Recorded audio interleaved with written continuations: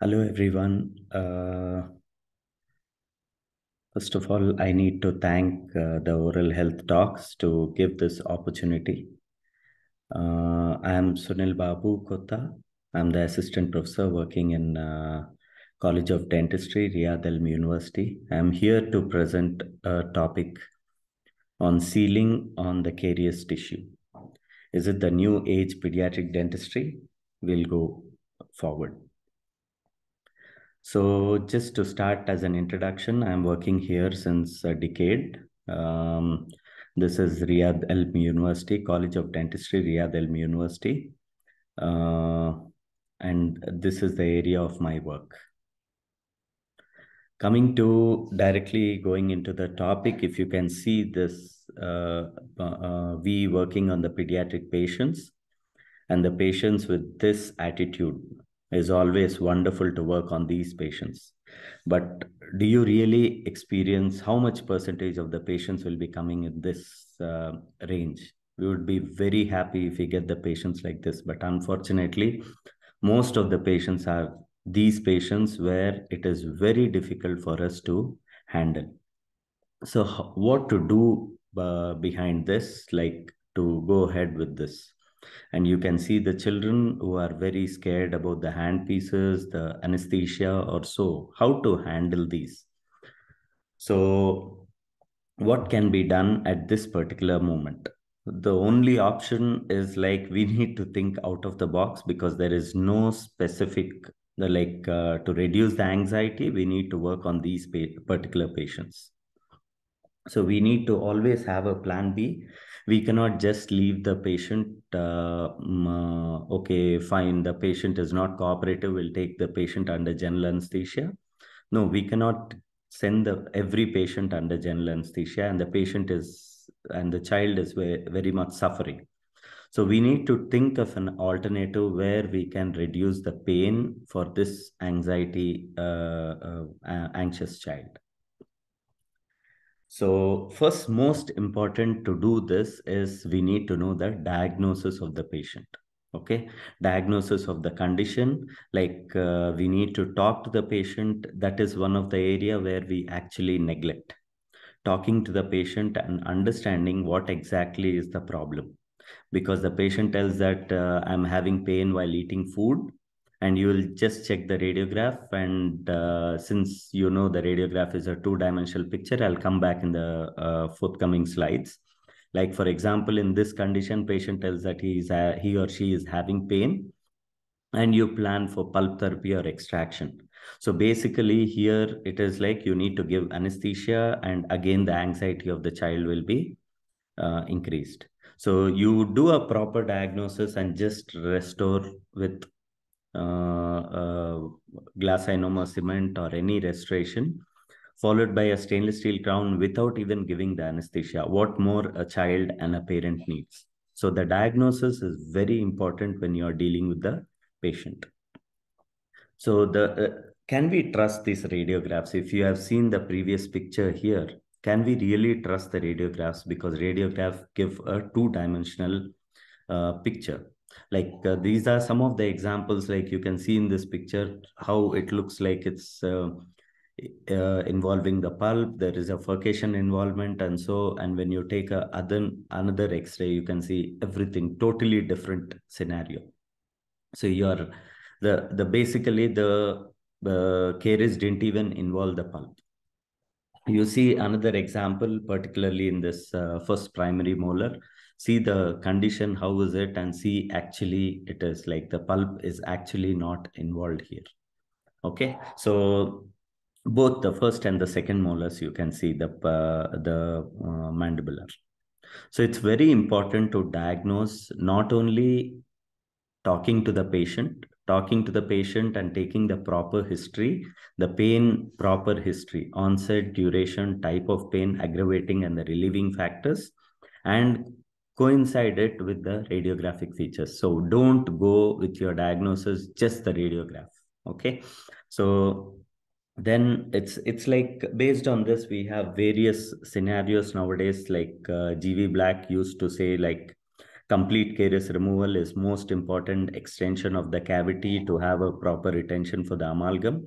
And the things have changed now. It has come to a stage that partial caries removal and even to a stage of no caries removal. So factors impacting on the lesion management these are the things you need to consider like primary or the permanent uh, teeth like primary teeth over a shorter period of time so your management your you can compromise to a little extent taking anxiety into uh, as a main uh, scenario rather than treating the caries completely i mean removing the caries completely then the lesion depth the depth of the lesion plays a major role. And i will go in detail regarding this and the the tooth surface enamel and the dentine and the lesion cleansability. There are many factors impacting in the lesion management but in this particular uh, presentation we'll be concentrating only on the lesion depth it's like uh, if you see in this condition it's a excellent pictures given by uh, dr meenakshi uh, Kher and uh, rao uh, uh, in this uh, textbook, you can see like the soft, firm, and the hard dentine. If you can see here, the in this particular condition, they have not removed like you have to remove the soft caries if needed. Okay, and see to that the uh, this particular area, like uh, if I can say, like uh, yeah, you can see in this particular area where at the cavo surface margin, it should be a hard dentine where the glass ionomer, if you are uh, placing the glass ionomer, it should have a proper marginal seal. So in this condition, it is it is like even the depth of the cavity the firm dentine which is there is enough according to the gv black and the previous um, uh, concept where we need to completely remove the caries, which is not needed. The main thing here is the sealing the uh, uh, cavo surface margin. Even in the conditions like this, also you can even leave the soft carious lesion also. But again, the most important is the this area should be cavo, uh, the hard dentine where the glass ionomer or any restoration. I prefer glass ionomer restoration to have a marginal seal and uh, packing and not allowing the soft caries to the oral environment. So I'll come back to this. So this is the new concept where like uh, it's not new to be frank, but it is not being followed. Still, we are going with the conventional technique of complete caries removal. So this is very simple procedure. Just remove the caries from the uh, uh, cavity and uh, apply glass ionomer with the finger pressure technique and remove the excess. So how do you leave the caries? This is a very big question raised by most of the practitioners and rather who are not i can say like not updating the uh, subject or yes i can i can agree with certain um, like you have certain things in your mind where you cannot accept the new trend which has come because leaving the caries is a big uh, mistake or so. So how can you justify this? Like uh, first the past versus present as you know complete caries removal of bacteria versus incomplete removal complete removal uh, versus the sealing on the caries, complete removal of the caries, and the preparation versus preservation of the tooth, and extension versus constriction. So these are all the changes which have been happening in the present uh, uh, uh trend in the in managing the dental caries. So this is the concept what I uh, what it is told. It is it is like like for example here you the black circle where you can see here it is nothing but you are covering up with glass ionomer cement or even in the Hall's technique as you know covering with the stainless steel crown. The main reason here is the carious surface and the microorganisms are not allowed to get exposed with carbohydrates and the microorganisms into the in the oral cavity so what is happen? It will result, the microorganisms present there will die in starvation because there is no carbohydrates reaching the microorganisms.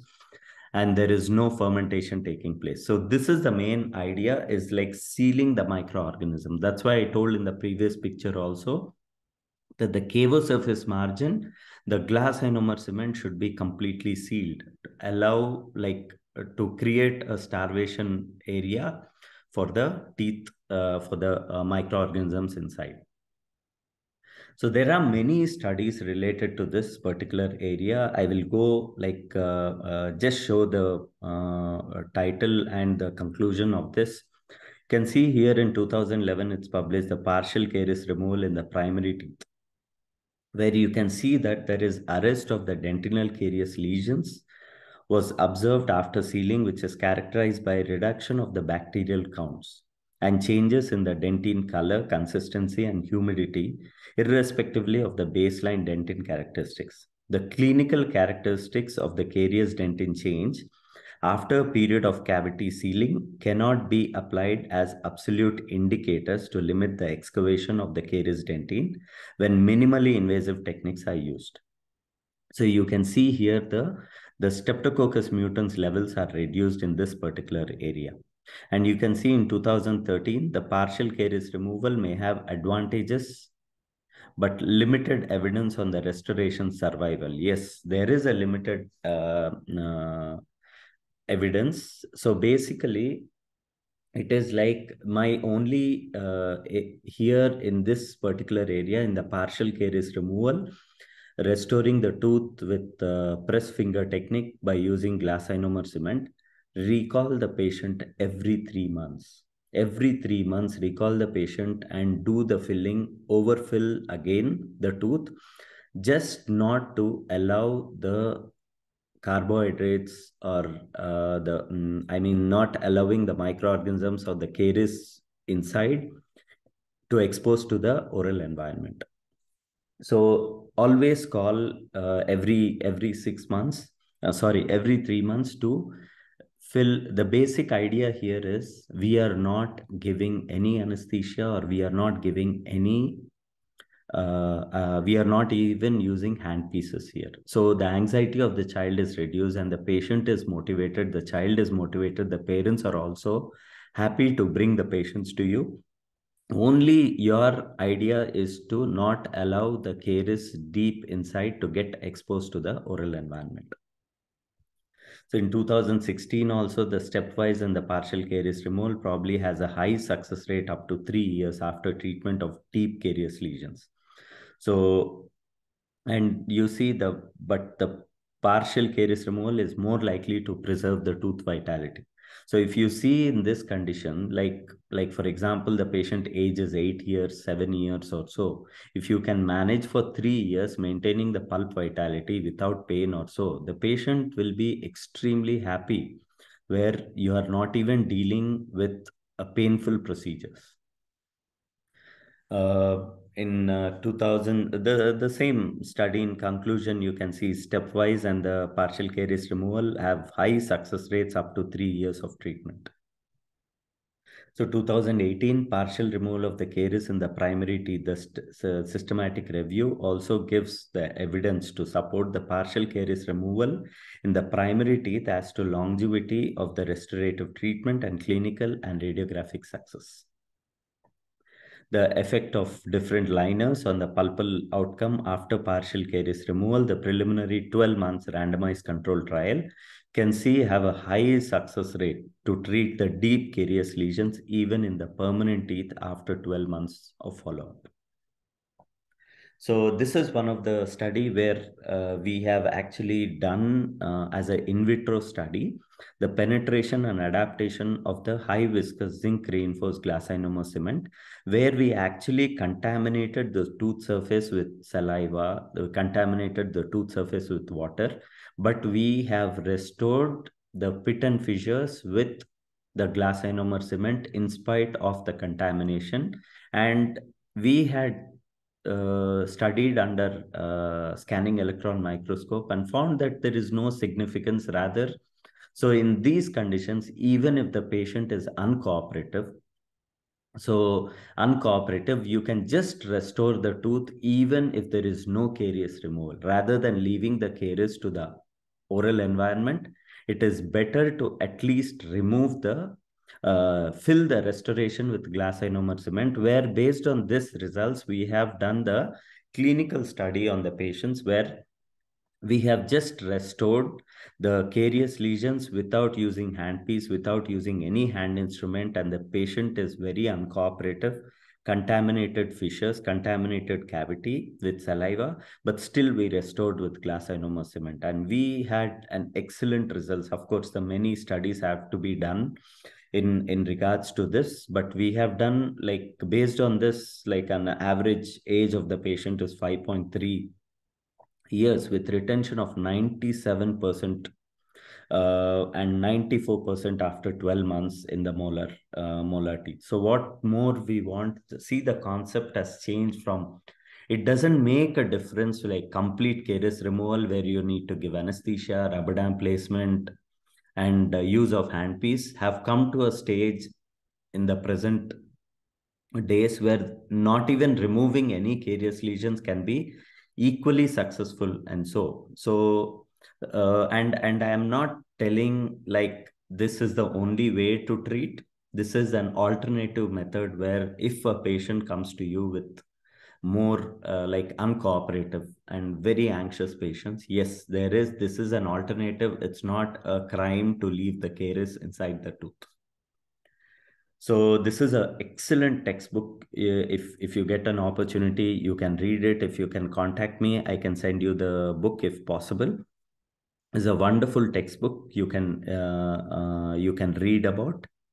And uh, to conclude, the treatment for the pediatric patients is not just treating the problem. We also need to concentrate on the child's anxiety, where our target as dentists is that the child should be comfortable coming to us to get the treatment done and i always end up with this saying like uh, one hour uh, per day of study in your chosen field is all it takes one hour per day study put you at the top of the field within three years within five years you'll be a national authority and within seven years you can be one of the best people in the world choose any topic it's it's like it's a small suggestion for uh, the undergrads who are listening to me and uh, and thank you so much. And thank you once again for the um, uh, oral health talks for giving this opportunity. Thank you.